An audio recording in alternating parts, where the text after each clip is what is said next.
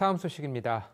오늘 국회에서는 코로나19 방역 조치로 인해 자영업자와 소상공인들이 입은 손실을 보상해주는 법안에 입법을 위한 청문회가 열렸습니다. 청문회에는 코인 노래방 업주, 여행사 대표 등 소상공인 대표와 정부 관계자가 참여했는데요. 손실 보상을 소급 적용할지 여부를 두고 논쟁이 벌어졌습니다. 지혜롬 기자의 보도입니다.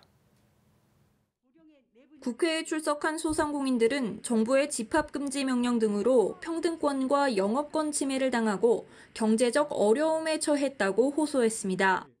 그리고 한 목소리로 손실보상 소급 적용을 요구했습니다. 손실보상과 소급 적용의 당위성에 대해 말씀드리고자 이 자리에 나왔습니다. 규모가 작은 영업장이 주 타깃이 되었습니다. 반면 백화점이나 마트를 비롯한 대형몰은 QR코드 인증이나 최소한의 방역 수칙 없이 대통령, 국무총리를 비롯한 정부와 질본, 지자체 등 많은 기관에서 여행 자제, 여행 취소 등을 강조하며 공고해 왔는데 자영업자와 소상공인들은 영업 제한 업종의 경우 매출 손실분의 70%까지 보상해야 한다고 주장하고 있습니다.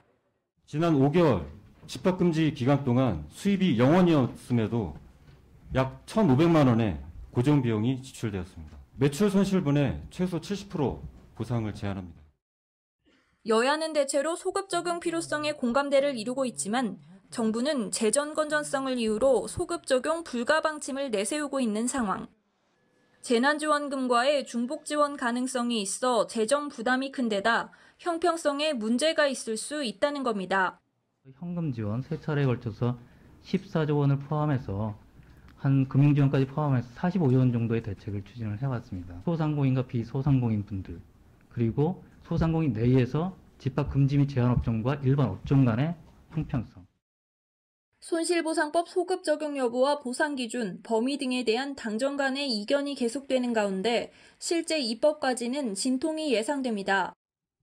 국회 산자위는 오늘 논의한 내용을 바탕으로 28일 법안 심사 소위를 열어 소급 적용 여부를 결정한다는 방침입니다. TBS 지혜룸입니다.